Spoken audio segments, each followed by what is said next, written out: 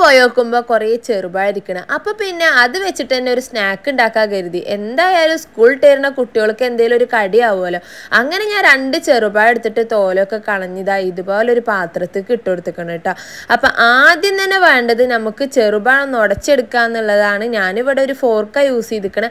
അത് വെച്ചുകൊണ്ട് നല്ലൊന്ന് ഉടച്ചെടുക്കുന്നുണ്ട് ഇനിയിപ്പോൾ അതന്നെ വേണമെന്ന് നിർബന്ധമൊന്നുമില്ലാന്ന് മിക്സിയിലിട്ടിട്ടോ അല്ലെങ്കിൽ ഒരു കയ്യിലോ സ്പൂണോ എന്തെങ്കിലും വെച്ചൊന്ന് ഉടച്ചു കൊടുത്താൽ മതി കേട്ടോ. അപ്പോൾ എന്തായാലും നല്ലോണം ഒന്ന് ഉടച്ചെടുത്ത ശേഷം അതിലോട്ട് പഞ്ചസാര ചേർത്ത് കൊടുക്കേ. ഞാനിവിടെ മൂന്ന് ടീസ്പൂണ് പഞ്ചസാര ആഡ് ചെയ്തിട്ടുണ്ട് കേട്ടോ അതിലേക്ക് പിന്നെ അതിലേക്ക് വേണ്ടത് ഒരു നുള്ളു ഉപ്പാണ്. നമ്മുടെ ഈ ഒരു മധുരം ഒന്ന് ബാലൻസ് ചെയ്യാൻ വേണ്ടിയിട്ട് മാത്രം ഒരു ലേശം ഉപ്പ്. അതിന്റെ കൂടെ തന്നെ കുറച്ച് അപ്പസോട് ചേർത്ത് കൊടുക്കുക കേട്ടോ. അതും ഇതേമാതിരി തന്നെ ഒരു നുള്ളു മതി കുറേയൊന്നും വേണ്ട. കൂടുതലായ ഒരു ചവർപ്പ് രുചി വരുള്ളൂ. അപ്പോൾ എന്തായാലും ഇത്രയും ചേർത്തതിന് ശേഷം നമുക്ക് ഇതൊന്ന് നല്ലോണം ഒന്നുകൂടി ഫോർക്ക് വെച്ചിട്ട് തന്നെ ഒന്ന് അങ്ങോട്ട് മിക്സ് ചെയ്തെടുക്കുക അപ്പോൾ പഴം നല്ലോണം ഉടച്ചെടുത്തിട്ടൊന്നുമില്ല. ഇതുപോലെ നന്നായി ഒരു ക്രീം പോലെ ആയി കിട്ടിയാൽ മതി. നല്ലോണം ഉടയണം എന്നില്ല കേട്ടോ. അപ്പോൾ എന്തായാലും നമുക്കിതാ ഇതുമാതിരി നല്ലോണം ഒന്നുകൂടി മിക്സ് ആക്കി കൊടുക്കുക. എല്ലാം കൂടി എല്ലോണം എല്ലാം കൂടി നല്ലോണം ഒന്ന് മിക്സ് ആയതിന് ശേഷം നമുക്ക് അതിക്ക് പൊടിയാണ് ചേർത്ത് കൊടുക്കുന്നത് ഞാനിവിടെ മൈദപ്പൊടി എടുത്തിക്കണത്. നിങ്ങൾക്ക് ഗോതമ്പ് പൊടി വെച്ചിട്ടും ഇതേ സാധനം ഇതേ അളവിൽ തന്നെ ഉണ്ടാക്കിയെടുക്കാം. എന്തായാലും ആദ്യം ഞാൻ ഒരു കപ്പ് ഒന്ന് ഇട്ട് കൊടുത്ത് നോക്കിയിട്ടാ എന്താ വെച്ചാൽ നമ്മൾ ഈ ഒരു നനവിൽ തന്നെ കുഴച്ചെടുക്കാൻ വേണ്ടിയിട്ടാണ് ഒരു കപ്പ് എടുത്തത്. ഒരു കപ്പ് എടുത്തിട്ട് ഇതുപോലെ ഒന്ന് അങ്ങ് അരിച്ചെടുത്ത് ഞാൻ അതിലോട്ട് ഇട്ട് കൊടുത്ത് ഒന്ന് മിക്സ് ചെയ്ത് നല്ലപോലെ ഒന്ന് കുഴച്ച് നോക്കി. അപ്പോൾ കുറച്ച് നനവ് കൂടുതലാണ് എന്താ വെച്ചാൽ അത് മാത്രം കൊണ്ട് എന്തായാലും കുറച്ചും കൂടി പൊടി ഇട്ട് കൊടുക്കണം തോന്നി. അപ്പോൾ ഞാൻ പിന്നെ ഒരു അര കപ്പും കൂടി മൈദപ്പൊടി അതിലോട്ട് ചേർത്ത് കൊടുത്തിട്ടുണ്ടായിരുന്നു കേട്ടോ.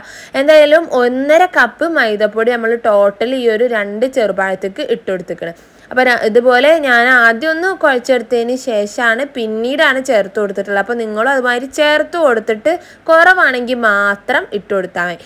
ഇതാണെങ്കിലോ ഒന്നര കപ്പ് ചേർത്ത് നോക്കുമ്പോൾ കുറച്ചധികമാണ് അപ്പോൾ ഞാൻ കുറച്ച് വെള്ളം കൂടെ ഒഴിച്ചിട്ട് നല്ല ഒന്ന് കുഴച്ചെടുത്തിക്കണം കേട്ടോ. അപ്പോൾ ഈ ഒരു മാവ് എന്ന് പറയുന്നത് ഇതാ ഇതേ ഒരു പരുവത്തിലാണ് വേണ്ടിയത്. നല്ല ലൂസ് ലൂസാകാൻ പാടില്ല. ലൂസായി കഴിഞ്ഞാൽ നമ്മൾ വിചാരിച്ച മാതിരി ആവൂല കേട്ടോ നല്ല ചപ്പാത്തിക്കൊക്കെ മാവ് കുഴക്കണ മാതിരി നമുക്കിത് കുഴച്ചിട്ട് വലിയ ബോൾസാക്കി മാറ്റാം. അതായത് ഒരുപാട് അങ്ങോട്ട് വലുതുമല്ല എന്നാലും അത്യാവശ്യം വലുപ്പം വേണേനു. ഇതാ ഈ ഒരു കൊലത്തിൽ ഞാൻ ഒരു അഞ്ചെണ്ണം ഉണ്ടാക്കി എടുത്തിക്കണേ. ഇനി എന്ത് ചെയ്യുക കുറച്ച് എണ്ണ കൈമ്മലാക്കിയിട്ട് അതിന്റെ മുകളിൽ ഒന്ന് അങ്ങ് തടവി കൊടുക്കുക അല്ലെങ്കിൽ പരസ്പരം ഒട്ടിപ്പിടിക്കും. കാരണം പഴമൊക്കെയല്ലേ. പിന്നെ നമ്മളെ മാവുമാണ്. വേറെ നമ്മൾ എണ്ണയും കാര്യമൊന്നും ചേർത്തില്ലാത്തതുകൊണ്ട് തന്നെ ഇതുപോലെ ഒന്നങ്ങ് ഒരു എണ്ണയിൽ ജസ്റ്റ് ഒന്നിങ്ങനെ കോട്ട് ചെയ്തിട്ട് ഒന്ന് മാറ്റി വെക്കുക കേട്ടോ ഒരു പത്തിരുപത് മിനിറ്റ് കഴിഞ്ഞിട്ട് പിന്നെ എടുത്താൽ മതി. അപ്പോൾ ഇതാ ഇതുമാതിരി സോഫ്റ്റ് ആയിട്ടുണ്ടാവും.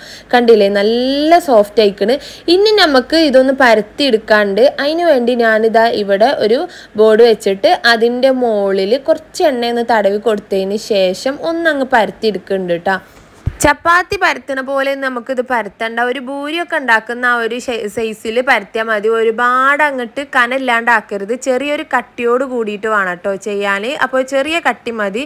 അപ്പോൾ എന്തായാലും അങ്ങനെ ഒന്ന് പരത്തി എടുത്തിട്ടുണ്ട് ഞാൻ ഇനി വേണമെന്നുണ്ടെങ്കിൽ ഒരു ലേശം എള്ളുകൂടി അതിന്റെ മുകളിൽ ഒന്നിങ്ങനെ ഇട്ട് കൊടുത്തിട്ട് ഒന്നും കൂടി ഒന്നങ്ങ് റോൾ ചെയ്ത് കൊടുത്താൽ അത് മുട്ടി നിന്നോളൂ കേട്ടോ അപ്പോൾ ഇത് വേണമെന്നുണ്ടെങ്കിൽ മാത്രം അല്ലെങ്കിൽ ഉണ്ടെങ്കിൽ മാത്രം ചേർത്താൽ മതി ഒരു നിർബന്ധമില്ല ഞാൻ എന്തായാലും കാണാനൊരു ഭംഗിക്ക് വേണ്ടിയിട്ടും ഉള്ളതുകൊണ്ടും ഞാനത് ജസ്റ്റ് ഒന്ന് ഇട്ട് കൊടുത്തിട്ടുണ്ട്. എന്നിട്ട് ഒന്നങ്ങ് പരത്തി കൊടുത്തിട്ട് ഞാൻ നല്ല തിളച്ച എണ്ണയ്ക്കാണ് കേട്ടോ ഇട്ട് കൊടുക്കുന്നത് അപ്പോൾ അതിന്റെ കട്ടിയൊക്കെ നിങ്ങൾ കണ്ടില്ലേ? ആ ഒരു കട്ടിയിൽ തന്നെ വേണം കേട്ടോ. അപ്പോൾ നമ്മുടെ പഴം ബണ്ണാണ് നമ്മളിവിടെ ഉണ്ടാക്കുന്നത് അതും ഫ്രൈഡ് ബണ്ണാണ്. ഇതുപോലെ ഒരു സൈഡ് നല്ലോണം ഒന്ന് പൊള്ളച്ച് വരാൻ കുറച്ച് സമയം എടുക്കും. ഹൈ ഫ്ലെയിമിൽ തന്നെ വെച്ചാൽ മതി. എന്നാൽ കരിയാതെ നോക്കണം. മീഡിയം ഫ്ലെയിമിൽ ടു ഹൈ ഫ്ലെയിമിന്റെ ഇടയ്ക്ക് വെച്ചിട്ട് തീ കുറച്ചും കൂട്ടിയിട്ടൊക്കെ കരിയാത്ത രീതിയിൽ നമുക്ക് ഇത് നല്ലോണം ഒന്ന് പൊരിച്ചെടുക്കുക അതായത് ഇതേപോലെ കാണുമ്പോൾ തന്നെ നല്ല അടിപൊളിയായിട്ട് കിട്ടിയിട്ടുണ്ട്. ചൂടൊക്കെ പോയതിന് ശേഷം നമുക്കിത് കഴിക്കാം കേട്ടോ അപ്പോൾ എല്ലാവരും ഒന്ന് ട്രൈ ചെയ്ത് നോക്കി ഇതിന്റെ ഉള്ളൊക്കെ കാണാൻ നല്ല അടിപൊളിയായിക്കണ്. അപ്പോൾ എന്തായാലും ഉണ്ടാക്കി നോക്കിയിട്ട് ഫീഡ്ബാക്ക് അറിയിക്കണേ. വീഡിയോ ഇഷ്ടമായിട്ടുണ്ടെങ്കിൽ ലൈക്ക് ചെയ്യാനും ഷെയർ ചെയ്യാനും കമന്റ് ചെയ്യാനും ഒന്നും മറക്കരുത്. അതുപോലെ തന്നെ നമ്മുടെ പേജ് ഇതുവരെയും ഫോളോ ചെയ്യാതെ നിങ്ങൾ കാണുന്നുണ്ടെങ്കിൽ ഉറപ്പായിട്ടും നമ്മുടെ പേജ് ഒന്ന് ഫോളോ കൂടി ചെയ്യണേ. അപ്പം നമുക്ക് അടുത്ത നല്ലൊരു വീഡിയോ ആയിട്ട് ഇൻഷാല്ല വീണ്ടും കാണാം. താങ്ക്